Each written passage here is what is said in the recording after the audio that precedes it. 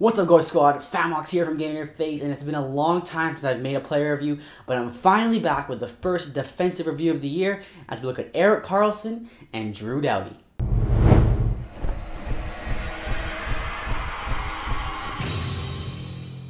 Here's the rules. I will play both players for 7 games on 100 chemistry lines. They will not be assigned any boosts or captaincy cards. The overall grade is based on 5 stats, puck skills, skating, shooting, physical, and defensive.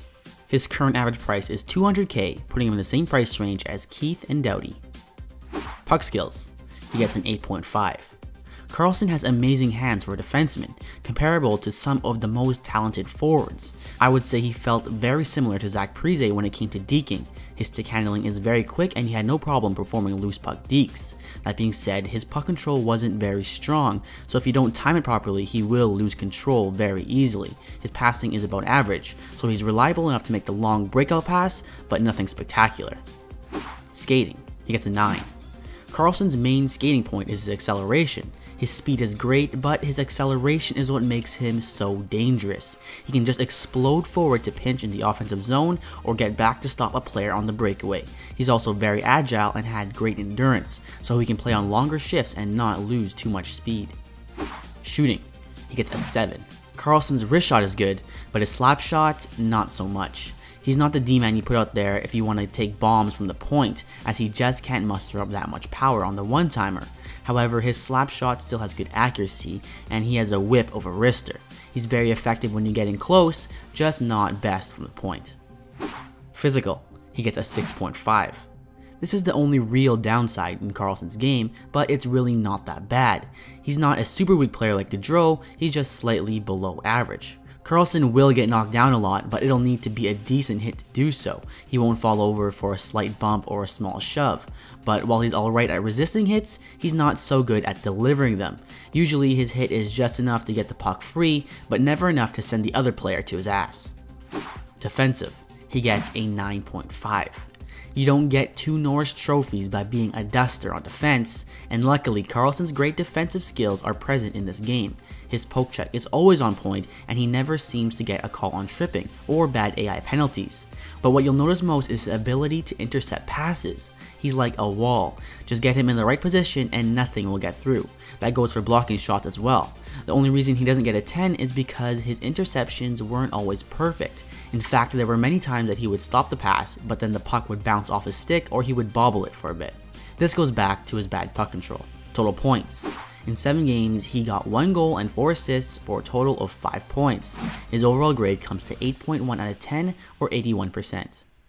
Karlsson delivered in all the areas I expected him to. In fact, he exceeded my expectation. He's solid all around and just doesn't have many weaknesses. The only thing is his physicality, but if you're not looking for a bone-crushing defenseman, then it's really no big deal. Karlsson's the kind of player that can make a game-saving defensive play and then go on the rush and get the game-winning goal. But before you go and drop 200k, let's look at his opponent, Drew Doughty. His current average price is 200k, putting him in the same price range as Niedermayer and Karlsson.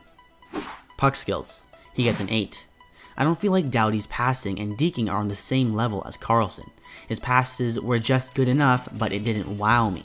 And even though his dekes were fast, they weren't as consistent. There were many times that he lost the puck trying to make a quick move with his stick.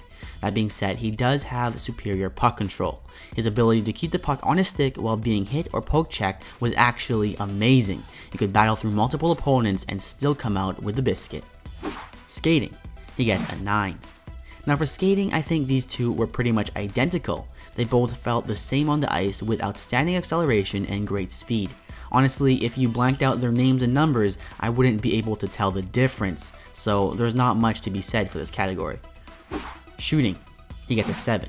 This is the same as skating, as there really wasn't much to set the two apart. Just like Karlsson, Doughty doesn't have the heaviest slapper.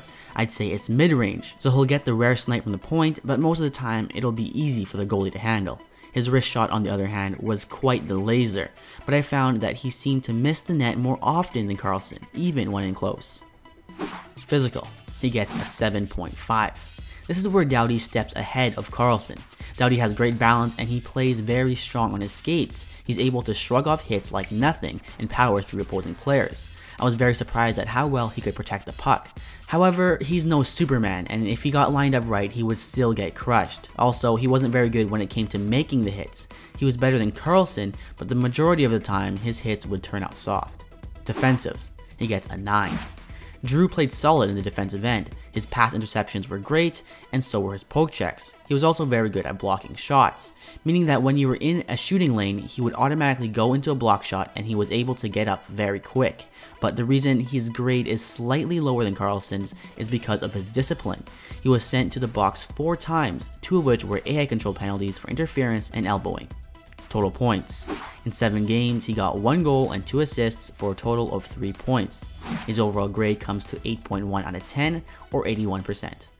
Doughty plays and feels very similar to Karlsson, with just slight differences throughout his game. He's much stronger on his skates and has superior puck control, but he wasn't as good with the dekes and didn't have very good discipline. But at the end of the day, those differences are very small, and I think the majority of players wouldn't even notice. So if you want to break it down, uh, then I think that if you want a D-man that can get the goals with his shot and is strong on the puck, then go with Doughty. If you want the D-man that can join the rush and successfully dangle through the other team, go with Karlsson. However, I think this one will just come down to which name you want more on your team or what works best for chemistry. Since Doughty is a two-way defenseman and Karlsson is an offensive defenseman, you might want to consider who they're going to play with and how it will affect chem.